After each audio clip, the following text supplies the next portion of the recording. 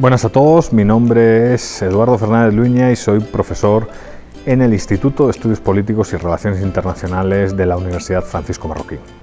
Durante los próximos minutos intentaré presentar brevemente en qué consiste la disciplina de ciencia política, qué ramas existen, qué perfiles, eh, digamos, individuales son los que podrían estar interesados en estudiar ciencia política y por último, por qué el EPRI este Instituto de Estudios Políticos y Relaciones Internacionales de la fantástica Universidad Francisco Marroquín es la mejor opción.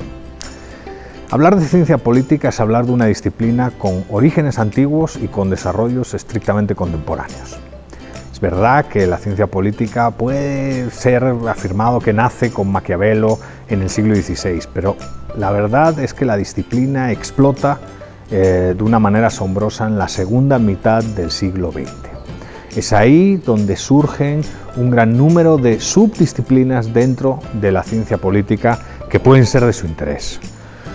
Políticas públicas, política comparada, la propia ciencia de la administración pública, el análisis político y económico de las decisiones públicas, conforman una serie de ramas que son de gran interés para todo aquel que tenga un perfil ecléctico, aquel individuo que tenga intereses en la economía, en el derecho constitucional, en el estudio de las relaciones internacionales, en cómo mejorar las políticas públicas de su ambiente social, encontrará en la licenciatura de Ciencia Política un programa de estudios ideal, porque la ciencia política desde su nacimiento en la segunda mitad del siglo XX se ha desarrollado como una disciplina ecléctica y plural.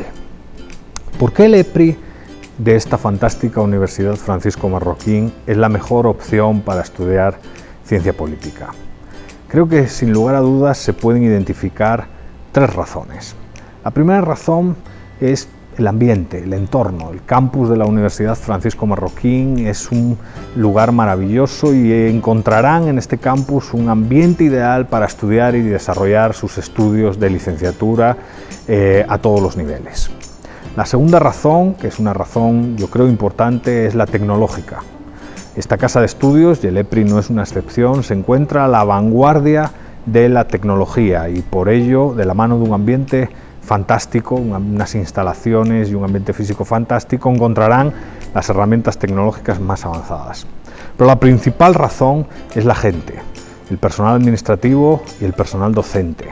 Nuestro recurso humano es nuestro mejor valor y en ese sentido el EPRI cuenta con los mejores profesionales existentes en Guatemala para, obviamente, participar en una licenciatura de ciencia política. Espero que después de esta breve introducción se animen a visitarnos y, obviamente, profundizar en el conocimiento alrededor de la licenciatura en ciencia política. Les aseguro que será una gran aventura. Muchas gracias.